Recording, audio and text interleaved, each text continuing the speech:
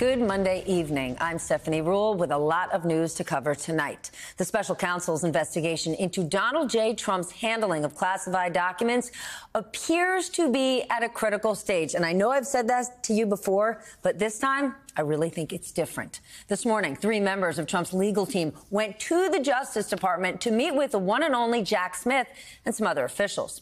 Remember, just two weeks ago, Trump's lawyers sent an official letter to Attorney General Merrick Garland asking for a chance to make their case. The Attorney General was not at today's meeting.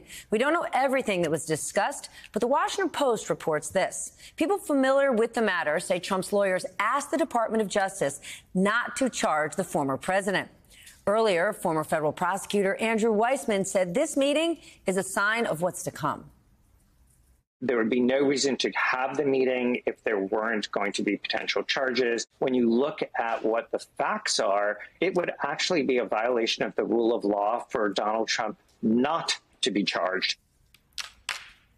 Not long after his lawyers left the Department of Justice, Donald Trump himself posted this on his social media platform, quote, how can DOJ possibly charge me, who did nothing wrong, when no other presidents were charged? The Washington, D.C. grand jury in the classified documents case is expected to meet again later this week. And there are also new developments in the investigations into Trump and the 2020 election. The Washington Post also reporting both federal and state prosecutors are focusing on Trump funded studies to try and prove voter fraud, which of course, no fraud was ever found.